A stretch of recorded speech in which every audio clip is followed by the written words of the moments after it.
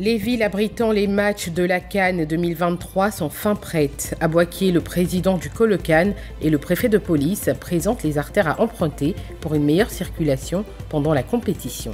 Bilan 2023 satisfaisant pour la Direction générale des impôts, plus de 3 milliards de francs CFA recouvrés. Et le Maroc prend la tête du Conseil des droits de l'homme des Nations Unies. Voilà pour le sommaire, bienvenue dans le 7 minutes. La ville de Boaké abrite les matchs de la Cannes 2023. À quelques jours du démarrage de la compétition, le président du Colocan, Maître Kone Yaya, a livré quelques informations aux populations relatives au déroulement de la Coupe d'Afrique des Nations. Nous avions été informés que les Algériens posaient à Boaké à 11h35. Effectivement, ils ont posé à 12h07. Donc depuis hier, la première équipe d'Algérie euh, est à Boaké. Elle a pris ses hôtels à l'hôtel du stade et elle s'entraîne euh, au lycée classique. Le préfet de police de la ville de Boaké, le commissaire divisionnaire Maxime Obio, donne des détails sur les artères à emprunter pour éviter les désagréments. Le stade de la paix de Boaké est placé au cœur de la ville de Boaké. Si les voies qui permettent donc euh, de sortir de la ville de Boaké par l'ouest, si ces voies-là sont bloquées, nous avons prévu des voies de continuum. Pour le premier responsable de la sécurité de la ville de Boaké, il est formellement interdit d'avoir sur soi les objets tranchants, durs ou pointus en étant au stade. La moisson est bonne pour la Direction générale des impôts au titre de son exercice de l'année 2023.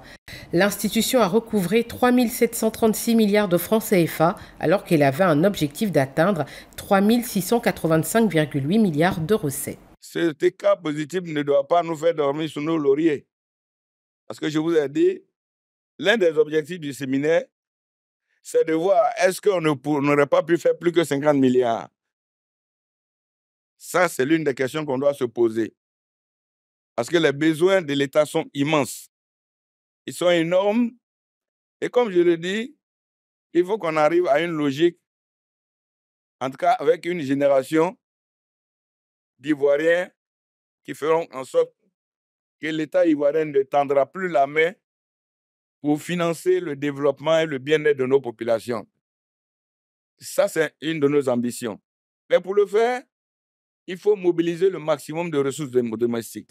En comparaison avec le niveau de mobilisation des recettes fiscales de l'année 2022 qui s'établissait à 3 207,9 milliards, les recettes de 2023 sont en progression de 528,2 milliards, soit un taux de croissance de 16,5%.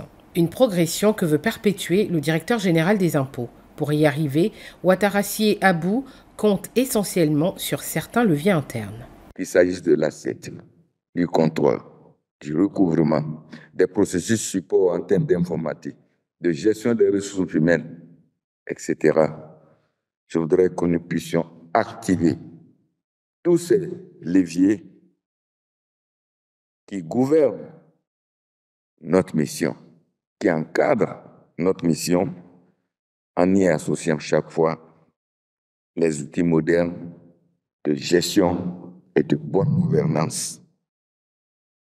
C'est à ce prix, et seulement à ce prix, que nous pourrons continuer de faire de la Direction générale des impôts une administration à la fois moderne et modèle, mais aussi une administration performante. Le séminaire bilan de la Direction générale des impôts a permis de mettre un focus particulier sur la nécessité d'améliorer la relation avec les contribuables, de simplifier les procédures administratives et d'optimiser l'utilisation des technologies de l'information pour améliorer l'efficacité de l'administration fiscale.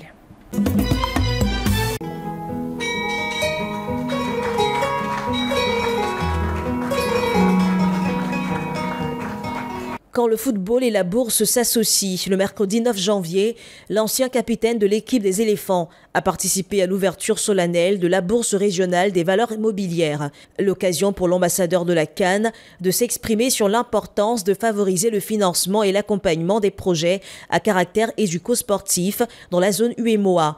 Faute d'attention et faute d'instruments adaptés, le sport ne représente encore que, selon les estimations, 0,5% du PIB africain, contre 2% du PIB mondial dans les autres, dans d'autres régions du, monde. Il doit être financé par le, secteur public, certes, mais si nous voulons atteindre nos objectifs, son développement requiert la mobilisation d'investisseurs, privés institutionnels. Ceux-ci expriment depuis plusieurs années un intérêt croissant pour l'économie africaine du sport et on commence à, passer à l'acte.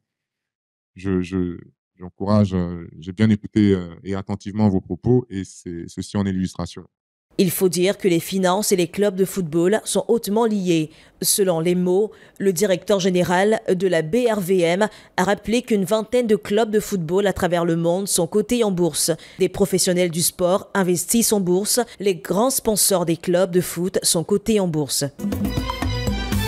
L'Afrique à nouveau au sommet du toit du monde. Après un intense bras de fer avec l'Afrique du Sud, le Maroc s'empare de la présidence du Conseil des droits de l'homme des Nations Unies. Le mercredi 10 janvier, Omar Zniber, ambassadeur du royaume chérifien à l'institution, a obtenu 30 voix des 47 membres du Conseil. Son prédécesseur, l'ambassadeur sud-africain Moussoli Kozi, a quant à lui obtenu les 17 voix restantes. Nouvellement nommé, Omar Zniber, représentant permanent du Maroc à l'ONU depuis 2018, ambitionne de répondre aux exigences de notre travail commun, si important et si fondamental, celui de la promotion, du respect et de la garantie des droits humains, tel qu'universellement reconnu. C'est la fin de ce 7 minutes. L'actualité continue sur cette info et sur cette info.ci.